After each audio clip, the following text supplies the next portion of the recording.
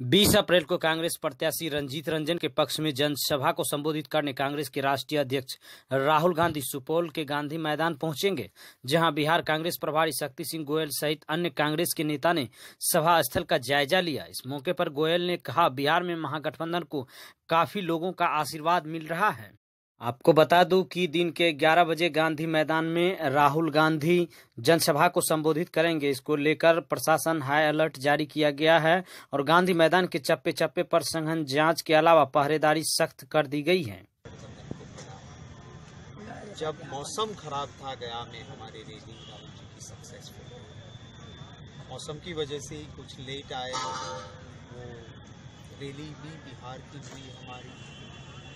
वो भी बिल्कुल सक्सेसफुल रही। होली के दूसरे दिन रैली की हमने पूर्णिया में वो भी सक्सेसफुल रही तो बिहार के आवाम का धन्यवाद करें मुझे पूरा विश्वास है कि कल सुपौल में जो राहुल गांधी जी की रैली है उसमें भी जनता के आशीर्वाद के साथ मौसम बहुत ही माने गर्मी बहुत है यहाँ पर। फिर भी आप देखेंगे कि लोगों का आशीर्वाद और प्यार पूरा सर हार्दिक पटेल को आज अहमदाबाद में थप्पड़ मारा गया। कैसे देखते हैं आप? देखिए बौखलाहट है बीजेपी लोकतंत्र में आखिर जनता जनार्दन तय करती है।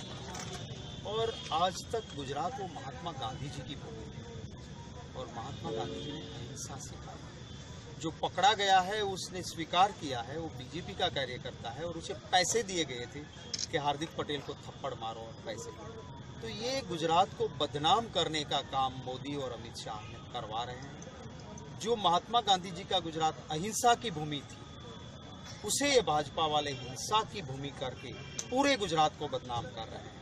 पूरे गुजरातियों को बदनाम करने का जो भाजपा ने पाप किया है, उसकी सजा गुजरात की जनता उसे देखिए, भाजपा अपने आप को कैडर बेस्ड पार्टी है।